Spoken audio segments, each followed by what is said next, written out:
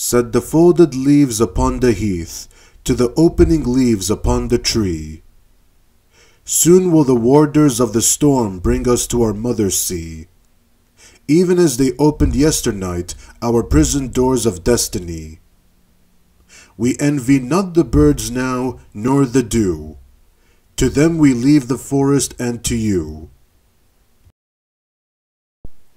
The infant leaves thus made reply, But we rejoice that we are here. We stand in the cerulean gate of life to crown the dying year. Him who emancipates we love. He who enchains is also dear.